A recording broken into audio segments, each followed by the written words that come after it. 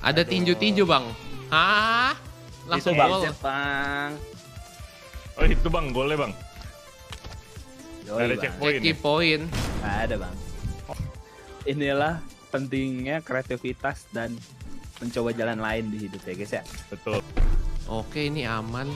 Oke, Anton udah paham. Oke. Oke, checkpoint dulu. Woi. What? Oh, kalau Devin menyelesaikan dengan baik dan benar. Iya. Gua gua kena gua kena ledakan di checkpoint.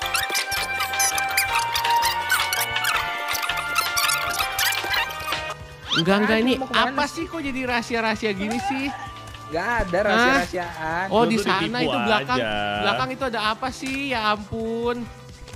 Ada apa sih? Ada apa, Der? Ternyata di sini ya ampun.